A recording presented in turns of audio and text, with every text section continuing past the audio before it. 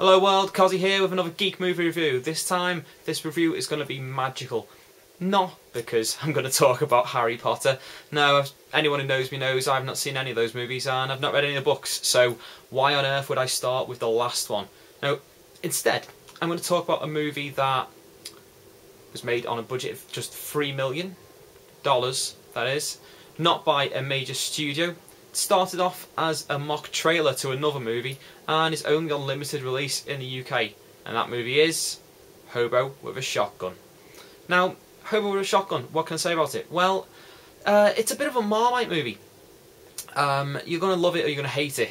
Now, I personally thought this movie was great. Um, it's a movie that will appeal to, and I'm not being sexist, guys mainly, uh, those who like ultra violence, um, anyone that like grew up like me watching the, the fantastic independence movie scene from the sort of 1980s, early 1990s, especially Troma films, stuff like uh, The Toxic Avenger, um, brilliant, uh, class, oh, Class of 'Em High, those kind of things, those kind of films. If you like those kind of films, if, like me, you grew up watching them on late night satellite TV, then you're going to love Hobo with a Shotgun.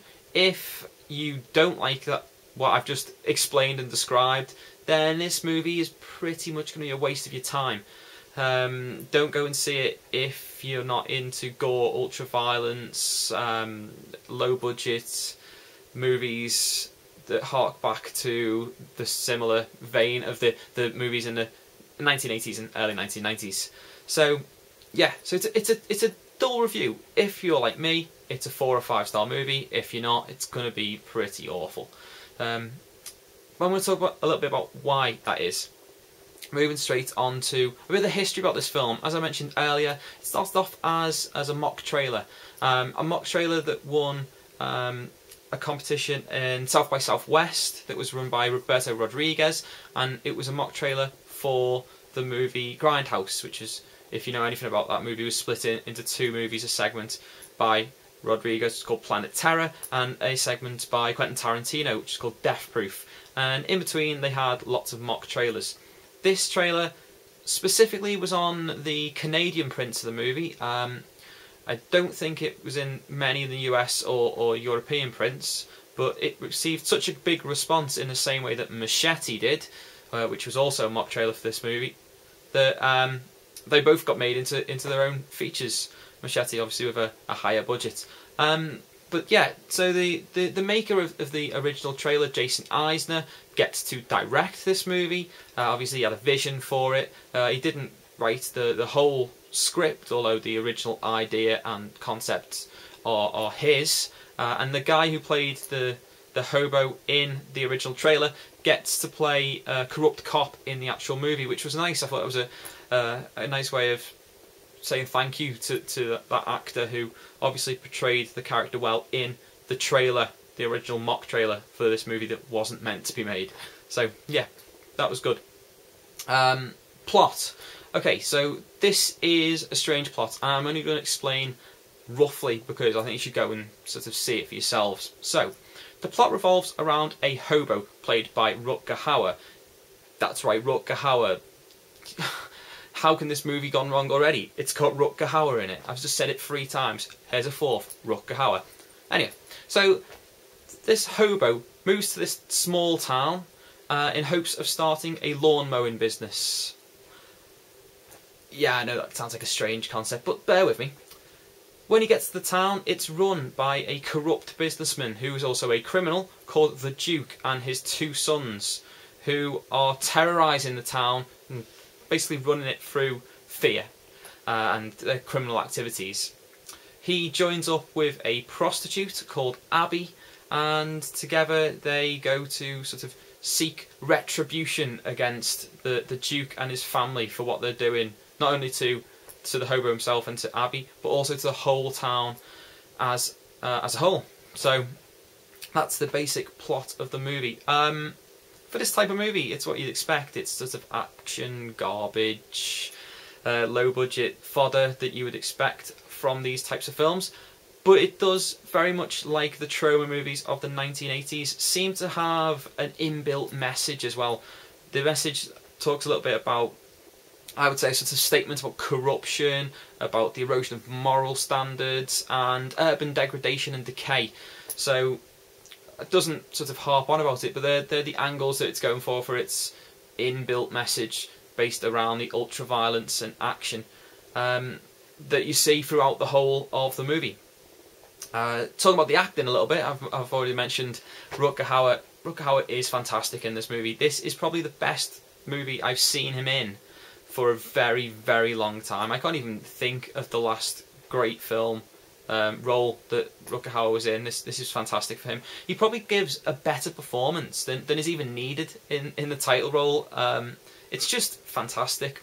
Well done to Rutger Hauer for that because, yeah, I know he can act. People who've seen his movies in the past know he can act, and this really does prove what you know, uh, what acting chops he's got. So fantastic for Rutger Hauer. Um, if I was going to pick one moment throughout the whole film to talk about how good he was, there is a monologue scene in a hospital where he's talking to some babies. Uh, that entire scene is brilliant, and it steals the movie. Just just how good he is in that one scene steals everything else that every other actor puts in. Um, that's just how good he is. Uh, notice um, as well that Brian Downey, who who plays the main villain, the Duke. He's brilliant. He he's a great villain. Um, there's nothing likable about this character, and he portrays that perfectly. Uh, he um, comes across as genuinely twisted and sadistic, uh, almost sociopathic in some of the things he does, and uh, it's brilliant. Yeah, he's really good. I, I thought he he was perfect casting for that role.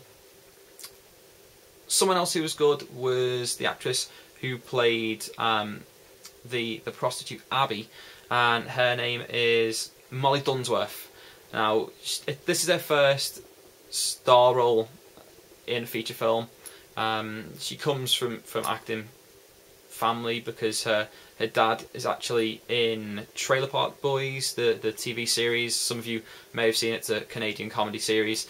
Uh, so you know she comes from an acting family, but this is her first ever starring role and uh, she's only 21, but she's brilliant. She she really does come across well, um, portrays the character well, makes you sort of um, feel for the character. You know, she's it's the classic sort of you know tart with the heart is is what people would say, but yeah, she she does well. I thought she was a good actress. I think she's she's got a bright future, one to look out for. So. I mean, her name's Molly Dunsworth. She's a Canadian actress. Look out for her. Uh, if there's anything to go by, she's going to have a, a great career. Um, supporting actors are all, are all fine. Some of them obviously come across as a, a little bit cheesy B-mover act actors, but that's what the film's going for, so it doesn't take anything away from the good performances and, and the absolutely amazing performance of the, the leading man. So great, all good on, on the casting front. Um, look and feel of the movie, mentioned about the, the Troma thing, um, that yeah, it feels like an indie, low budget movie from from the eighties and nineties. There's there's lots of gore, lots of ultra violence, lots of colour, um, lots of urban grime and, and decay, and and the whole look and feel adds to that sort of indie eighties, nineties. You know, get it from the video store. Um, for those people who don't know what a video store is, these are like places you used to go to, and they had these cassettes. They were called. Uh, in fact,